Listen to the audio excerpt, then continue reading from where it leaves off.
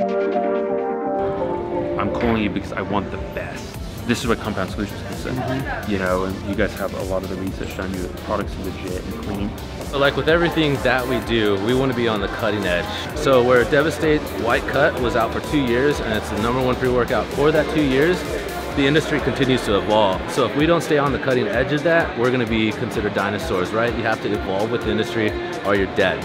So with Dynamine, new ingredient, perfect opportunity to phase out the old formula and utilize something that's you know never been done before. It's a new groundbreaking stimulant. You know, it's uh, something that's really not out there too much yet. I tried it in the raw version um, couple of weeks ago, and I actually liked it on its own. And then I got to try, obviously, in some of the beta samples that we had coupled with other ingredients, and uh, I felt great.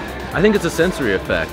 You know, we want something that gives you a good like dopamine feel without making you edgy or have any kind of crash. And if you take these really high gray market stimulants, you're gonna have a dopamine drain and you're gonna end up feeling, you know, groggy or lethargic after the stimulant. So it's a sustained energy, sensory, dopogenic kind of effect. The idea is to slowly put people into a beta alpha wave state mm -hmm. so they can still stay creative and functional, but they don't feel that initial come on effect.